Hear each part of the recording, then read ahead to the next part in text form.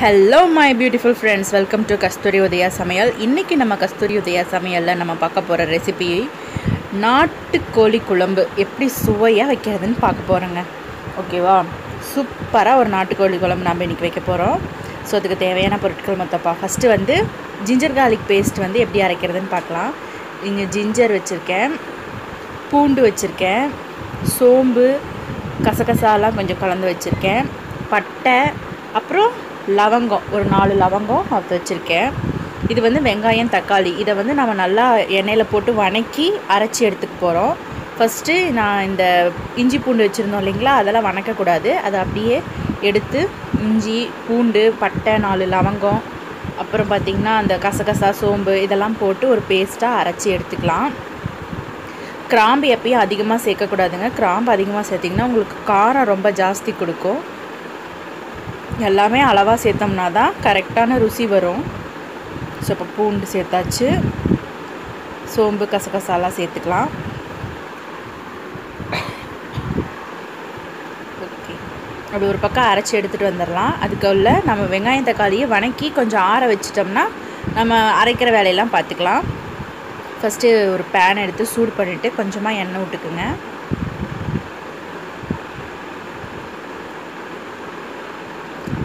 எண்ணெய் காயட்டும்.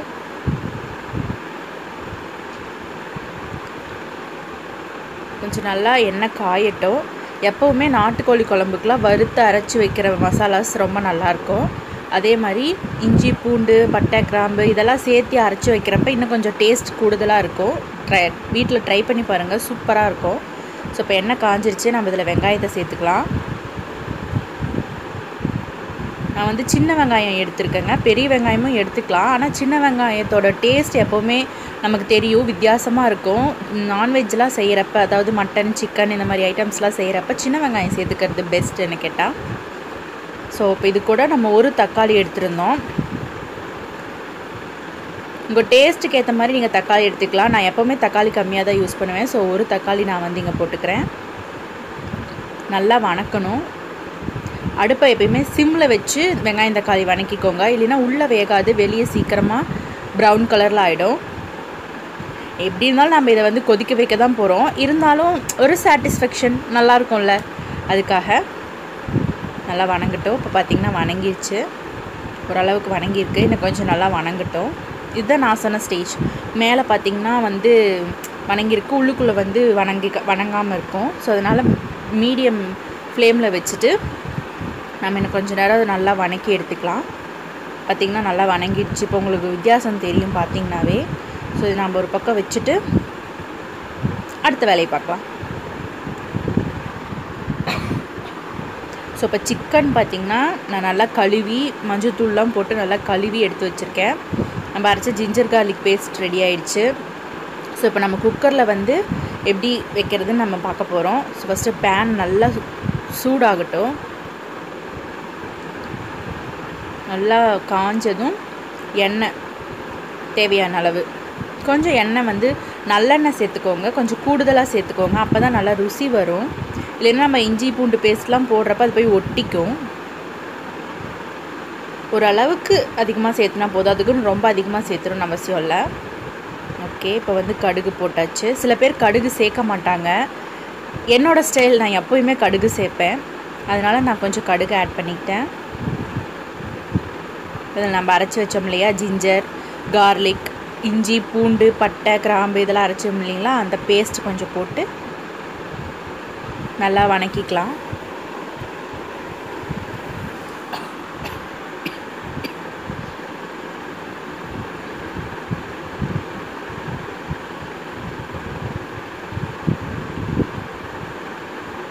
ஸோ இதுலேயே கொஞ்சமாக கறிவேப்பிலை சேர்த்துக்கலாம்.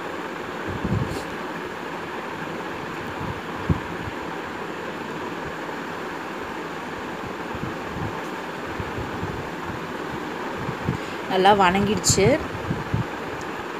சிம்மில் வச்சு வணக்கிக்கோங்க எப்போவுமே. ஏன்னா அந்த இஞ்சி பூண்டு பேஸ்ட்டு சீக்கிரமாக தீஞ்சிருச்சுன்னா அது ஒரு மாதிரியாக இருக்கும். அதனால் சிம்மில் வச்சு நல்லா ஓரளவுக்கு வணங்கி வந்ததும் இப்போ இது கூட வந்து நம்ம சிக்கன் கழுவி வச்சுருக்கோம் இல்லையா அதை நம்ம சேர்த்துக்கலாம்.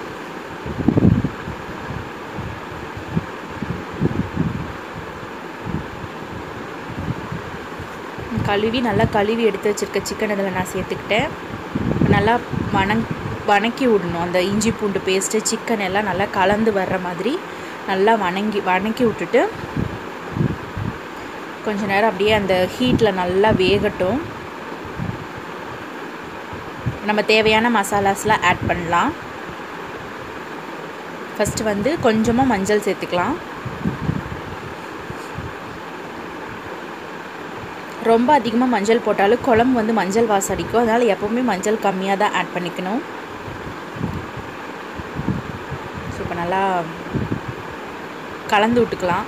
இப்போ நம்ம மஞ்சள் போட்டிருக்கிறதுனால எல்லா பக்கமும் ஈவனாக கலந்துருக்கா இல்லையாங்கிறது நம்ம தெரிஞ்சுக்கலாம். அது ஒரு எக்ஸ்ட்ரா டிப் ஓகே இப்போ வந்து நான் வீட்லேயே அரைச்ச மிளகாத்தூள் யூஸ் பண்ணுறேங்க நீங்கள் வெளியே வாங்குகிற மிளகாத்தூளாக இருந்தாலும் யூஸ் பண்ணிக்கோங்க. நீங்கள் எந்த அளவுக்கு சாதாரணமாக குழம்புக்கு யூஸ் பண்ணுவீங்களோ அந்த அளவு தான் நான் சொல்கிற அளவு தான் போடணும்னு கிடையாது. ஸோ இப்போ நான் வந்து ம வீட்டில் அரைச்ச மிளகாத்தூள் போட்டுட்டேன்.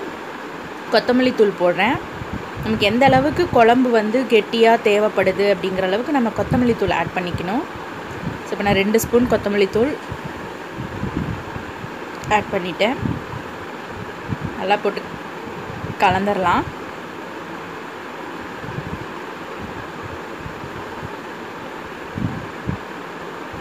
அடுப்பை வந்து மீடியம் ஃப்ளேம்லேயே வச்சுக்கோங்க. அப்போ தான் இந்த மாதிரி நம்ம பெரட்டுறதுக்கு ஈஸியாக இருக்கும். ஸோ இப்போ கொஞ்சமாக உப்பு சேர்த்துக்கோங்க. நம்ம ஒன் பாட்டில் செய்கிறதுனால எல்லாமே ஒரே டைமில் பண்ணிடுறோம். இல்லை உங்களுக்கு இப்போ உப்பு சேர்க்க பிடிக்காது செய்ய மாட்டேன் அப்படின்னா நோ ப்ராப்ளம் நீங்கள் வந்து எல்லாம் வேக வச்சுட்டு கடைசியாக கூட உப்பு சேர்த்துக்கலாம். ஆனால் இப்படி செய்கிறது ஒரு தனி டேஸ்ட் கிடைக்கும். ஸோ இப்போ நம்ம வந்து தேவையான அளவு தண்ணி ஊற்றிட்டு ஒரு கலந்து விட்டுட்டு வெயிட் பண்ணலாம்.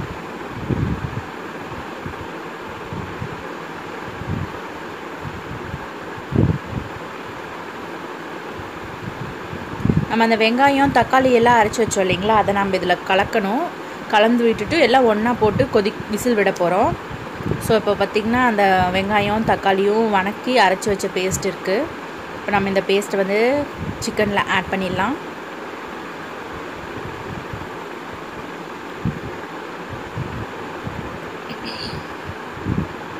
ஓகே. பார்த்திங்கன்னா இப்போ சிக்கனில் நான் அந்த பேஸ்ட்டை ஆட் பண்ணி ஒரு நல்லா ஒரு கலர் கலந்து வச்சுட்டேன்.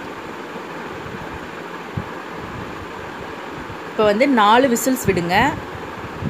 விசில் விட்டு எடுத்துட்டேன் நான் இப்போது சூப்பராக தயாராகிடுச்சு சிக்கன் குழம்பு. நாட்டுக்கோழி குழம்பு. கொரியாண்டர் லீவ் சேர்த்துக்கோங்க ஸ்மெல் சூப்பராக வரும். நாட்டுக்கோழி குழம்பு. இப்போ சூப்பராக ரெடி ஆயிடுச்சு. டேஸ்ட் பார்த்துட்டு உங்கள் வீட்டில் இருக்கிற எல்லாருக்கும் சர்வ் பண்ணுங்கள் நீங்களும் உட்காந்து சூப்பராக சாப்பிடுங்க. சப்ஸ்கிரைப் பண்ண மறந்துடாதீங்க. தேங்க்ஸ் ஃபார் வாட்சிங் நெக்ஸ்ட் வீடியோவில் சந்திக்கலாம்.